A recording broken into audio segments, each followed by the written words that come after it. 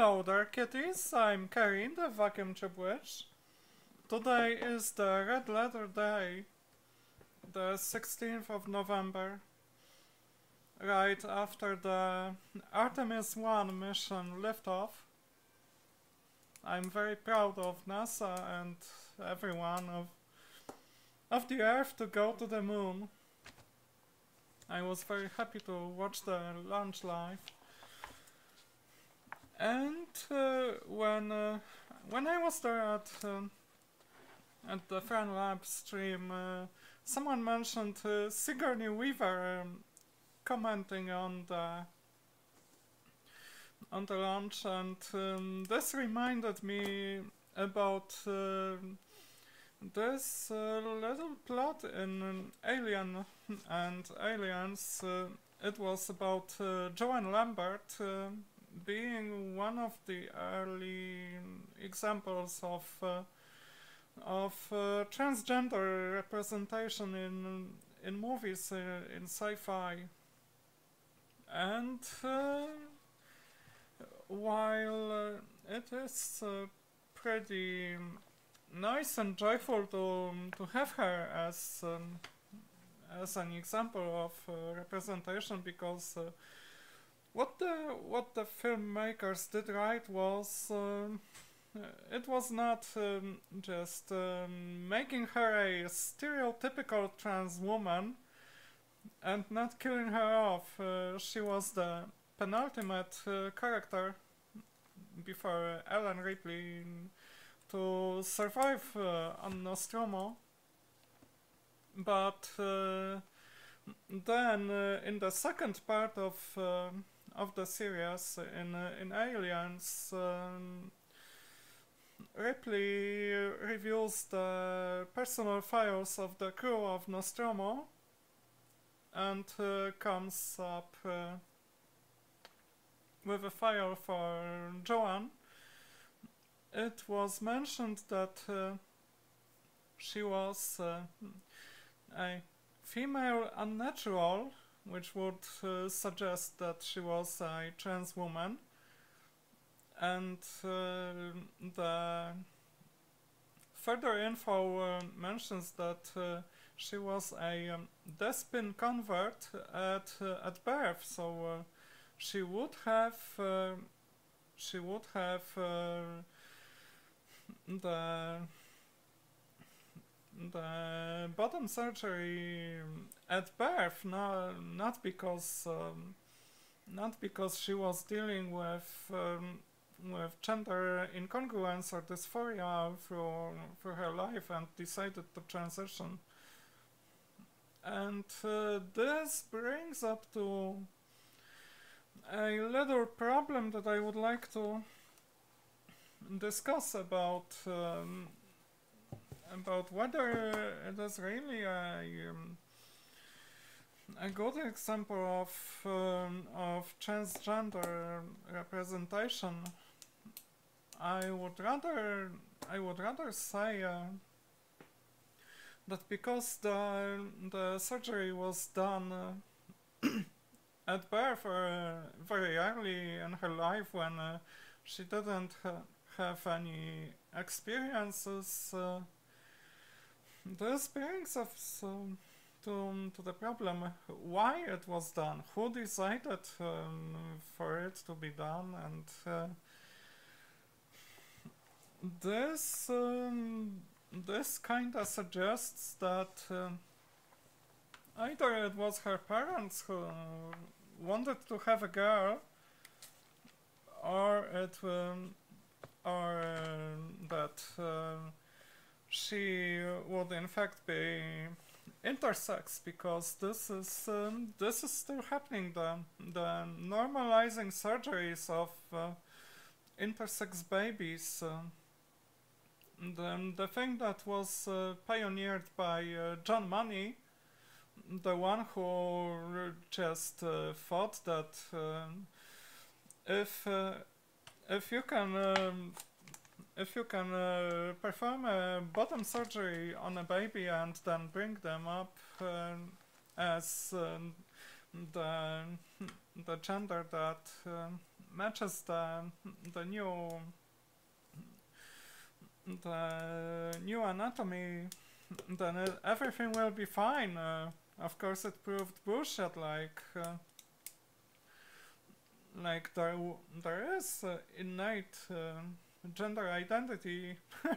that's um, that's also why uh, us trans people are, are in fact there, because if everything was um, dependent on on the upbringing then we would never we would never have the chance uh, of thinking otherwise that uh, that we might not be the same gender identity as uh, as the sex assigned at birth and uh, the the question is uh, pretty open. I I haven't even done uh, that much uh, research on that. Uh, I guess it would involve talking with the with the creators what they meant or looking for for some articles and interviews who with the with the creators of course, uh, it was the end of the 1970s, and uh, all this discourse about um, about gender identity and uh, trans issues, about uh, intersex issues, uh, it was uh, it was not really there. It was almost absent. trans people were in the dark back then and it was only recently discovered. Uh, I read I read the article on Pink News um, about uh, an example of uh, early trans uh, representation in movies uh, in uh, in Alien. But given the fact that um, John Money worked uh, in the 70s, then the situation uh, could pretty much be possible and not um, and not as much uh, criticized um, given the experiences of uh, of people who were operated on um, back when uh, when they were babies and uh, and their identity uh, proved, in fact, um, different than uh, what was reassigned. And by the way, the, the current American politics, uh, yeah, the, the right wing uh, shouts against mutilating babies, mutilating children, but uh, what the fuck are they doing about uh, the normalizing uh, surgeries on uh, intersex babies? They do nothing. They they keep the shit in place.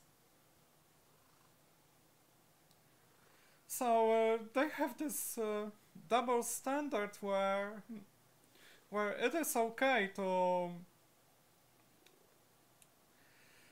make uh, drastic decisions, uh, sometimes even lying to um, to the parent, to to the person involved, uh, making drastic decisions in the name of social conformity, in the main, in um, the name of uh, upholding the the binary sex. Um, and gender division like uh, there is only male and female. There's nothing in between. That kind that kind of shit that uh, proved uh, that uh, that proved wrong because um, the reality is much more complex uh, not just uh, when it comes to our identities i mean the non- non-binary people but also to our um, biology the, the different factors that um, that comprise uh, our bodies, um,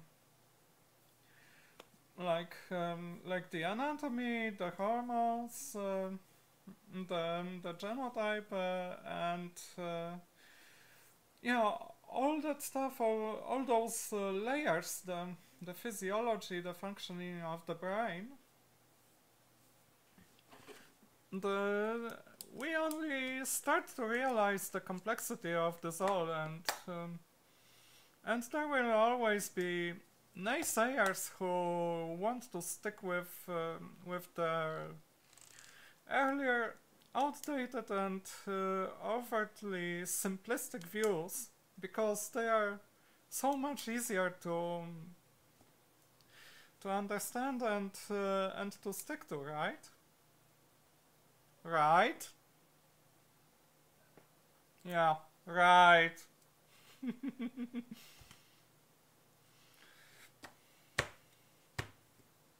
okay.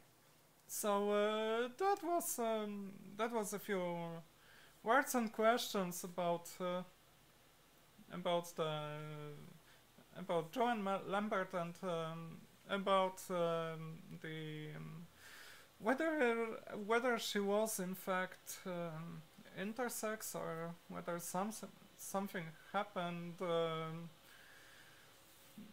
in the in the childbirth uh, that uh, would would be an, an argument uh, against the um, retaining the the male um, sex and gender. Of course, uh, we can't uh, we can't uh, also ignore the um, patriarchy that was uh, probably in the in the world um, of uh, of alien because uh, it was in the in the real world here on earth. It was uh, it was the times of the second wave of feminism. And uh, things were vastly different back then. Bye.